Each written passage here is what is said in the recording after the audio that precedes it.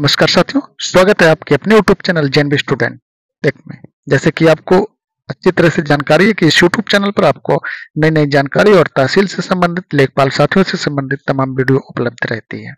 इसी कड़ी में आज का ये वीडियो बहुत ही इंपॉर्टेंट होने वाला है। मैं आज आपको इस वीडियो में बताने वाला हूँ कि यदि आ, किसी भी व्यक्ति के साथ कहीं कोई इमरजेंसी हो जाए और उसका फ़ोन लॉक है यानी आप उसको खोल नहीं सकते और उसके घर वालों को सूचना नहीं दे सकते हैं।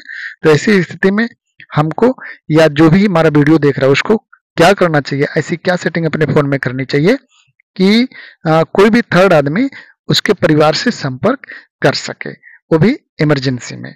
जैसे मान लिया कोई रास्ते से जा रहा है कहीं एक्सीडेंट हो जाता है तो हम उसको उसके परिवार को या उसके किसी के वही फ़ोन लगाना चाहते हैं तो फ़ोन नहीं लग पाता क्योंकि वो पैटर्न लॉक लगा के रखते हैं या कोई भी लॉक लगा के रखते हैं जिससे फ़ोन नहीं खुल पाता ऐसी स्थिति में हम फ़ोन किसी को भी संपर्क नहीं कर सकते। तो आज इस पर मैं वीडियो बनाने वाला हूँ कि कैसे आप अपने मोबाइल में क्या सेटिंग करेंगे कि जब भी कोई ऐसी घटना, दुर्घटना आपके साथ हो तो आप फ़ोन लगा सकें। उनके लिए भी वीडियो है।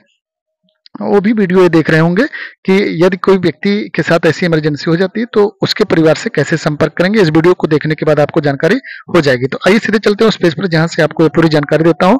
और यदि आप पहली बार इस यूट्यूब चैनल जनबी स्टूडेंट टेक पर आए तो सबसे पहले चैनल को सब्सक्राइब कर लें, साथ में बगल में बने बेल आइकन को भी प्रेस कर दें, ताकि आने वाला हर नोटिफिकेशन सबसे पहले आपको मिल सके। तो आइए चलते हैं हम उस प्रोसेस पर।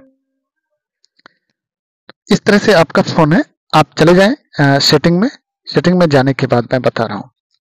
सेटिंग में चले जाए। सेटिंग में जाने के बाद आपको मैं बताता हूँ क्या करना है। सेटिंग खुल जाए, लेते हैं। सेटिंग में आने के बाद में आपको यहाँ एक ऑप्शन दिखाई पड़ेगा safety and emergency safety and emergency पर आप क्लिक कर लीजिएगा। जैसे क्लिक करेंगे, आपके सामने कुछ इस तरह का ये दिखाएगा, ये इमरजेंसी के लिए होता है। तो एक ऑप्शन इसमें आप देख पा रहे होंगे इमरजेंसी कॉन्टेक्ट आप इमरजेंसी कॉन्टेक्ट पर क्लिक कर लीजिएगा। क्लिक करने के बाद आप इसमें अपने परिवार के सदस्यों का नंबर ऐड कर लीजिएगा। जैसे मैं इसमें अपने परिवार के सदस्यों का नंबर ऐड कर रखा हूँ कि कोई बात होने पर आप डायरेक्ट उनसे संपर्क कर सकते हैं। अभी मैं फ़ोन लगा करके भी आपको दिखाने वाला हूँ। इसके बाद में अब अब आपको ऐड करना है। कैसे ऐड करेंगे ये बता देता हूँ। ऊपर यहाँ ये जो पेंसिल वाला चित्र बना हुआ है, मैं हाईलाइट करके आपको दिखा दूँ। पेंसिल वाले चित्र पर, यहाँ पर ये जो बना है, इस पर क्लिक कर लीजिएगा। मैं क्लिक करके आपको दिखा देता हूँ। जैसे इस पर आप क्लिक करेंगे तो ऐसा कुछ खुल के आ जाएगा। इसमें आ जाएगा इमरजेंसी कॉन्टेक्ट ग्रुप रिंगटोन और एड मेंबर का ऑप्शन आ जाएगा। एड मेंबर पर आप क्लिक कर लीजिएगा। मैं क्लिक करके आपको दिखा देता हूँ। जैसे ही एड मेंबर पर आप क्लिक करेंगे, आप जिसका नंबर ऐड करना चाहते हैं, उसका नंबर आप ऐड कर लीजिएगा। नंबर ऐड करने के बाद में डन पर क्लिक कर दीजिएगा और सेव कर दीजिएगा।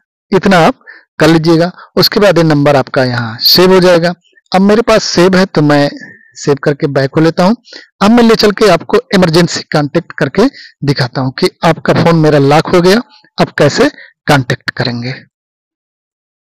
अब हमारा फ़ोन लॉक हो चुका है, देख पा रहे होंगे। अब इसमें एक ऑप्शन आपको दिखाई पड़ रहा है इमरजेंसी कॉल जैसा कि आप इसमें पैटर्न आपको मालूम नहीं होगा, जिसका भी फ़ोन होगा तो आप इमरजेंसी कॉल पर क्लिक कर लीजिएगा। जैसे ही क्लिक करेंगे, आपके सामने कुछ इस तरह का इंटरफेस खुल करके आ जाएगा इमरजेंसी कॉल और जिसका जिसका नंबर आप उसमें सेव कर रखें उनका नंबर आ जाएगा। अब मान लिया मैं किसी एक पर कॉल करता हूँ। यहाँ नीचे लिख करके आएगा, मैं इमरजेंसी कॉल जो भी है, आप ओके कर दीजिएगा। मैं जैसे ही ओके किया, देखिए उनको फ़ोन लग गया है। ये फ़ोन घंटी उनको जा रही है, मैं काट दे रहा हूँ। अब इसके बाद में इस तरह से आप इसको कॉल कर सकते हैं। धन्यवाद। वीडियो कैसा रहा? कमेंट बॉक्स में कमेंट ज़रूर कर दीजिए। अपने साथियों को भी शेयर कर दीजिए और अभी तक अगर वीडियो को लाइक नहीं किया तो प्लीज़ वीडियो को लाइक कर दीजिए ताकि आ, हमको मोटिवेशन मिले। धन्यवाद। वीडियो कैसा रहा? ज़रूर बताएँ। मिलते हैं अगले वीडियो में। इसी उत्साह के साथ।